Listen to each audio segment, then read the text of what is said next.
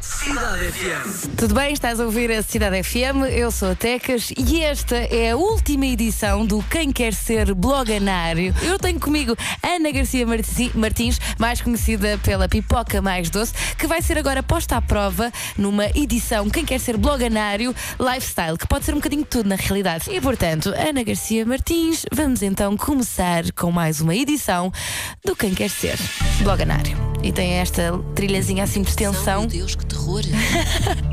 Estou a notar o pânico nos teus olhos. Então, primeira pergunta da categoria de viagens: Qual a dimensão máxima que deve ter uma mala de mão? Hipótese A, 115 centímetros.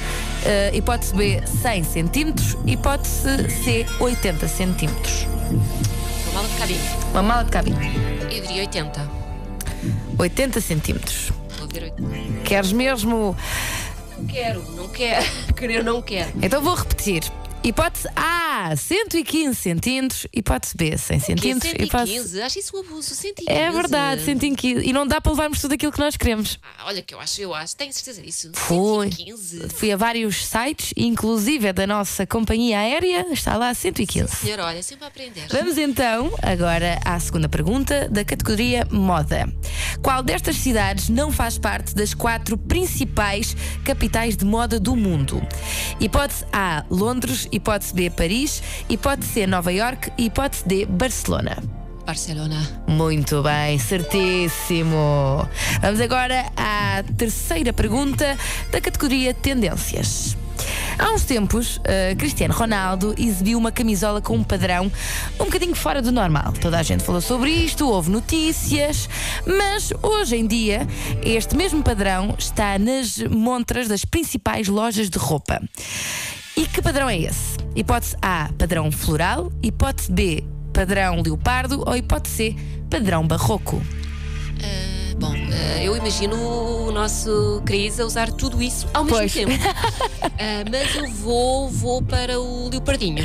Para o leopardinho. Ele já de facto usou leopardinho, mas ele exibiu uma bela de uma suete com um padrão Ah, barroco. foi, não. não Versace. Ah, Versace. Pronto. Perdi, esse dia perdi. Não, Pronto. Ah, Não faz mal, não faz mal. eh, Vê-se que não acompanhas o nosso Cristiano Ronaldo. Se fosse, se calhar, um jogador do Benfica, sabias logo qual era. seguramente. Qual sim, era a roupa sim. dele?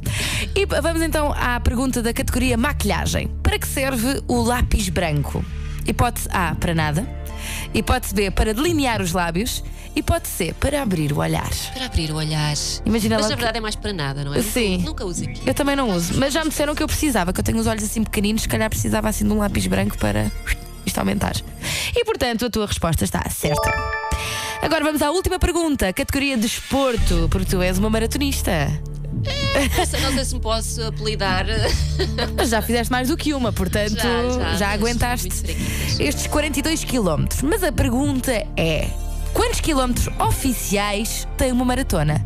E não são só 42 quilómetros. 42 km, 195 metros. É, vá, nem vale a pena ir às, nem vale a pena ir às opções. Sabes Está quando, quando corres uma, tu sabes os metros todos, porque todos os metros importam. E aqueles 195 metros são os piores, que são os. Os As últimos. pessoas chegam aos 42 e ah, que ainda faltam mais 195 metros. Pronto, olha, passaste muito bem neste É. teste do Quem Quer Ser Bloganário. Obrigada, Ana, gostei Obrigada, muito de eu gostei muito de conhecer. Ah, gostei muito de falar, conhecer ainda mais um bocadinho deste blog da Pipoca Mais Doce. Ah, e acima de tudo, foi um momento, uma manhã muito divertida, não foi? Obrigada, gostei muito. Cidade FM.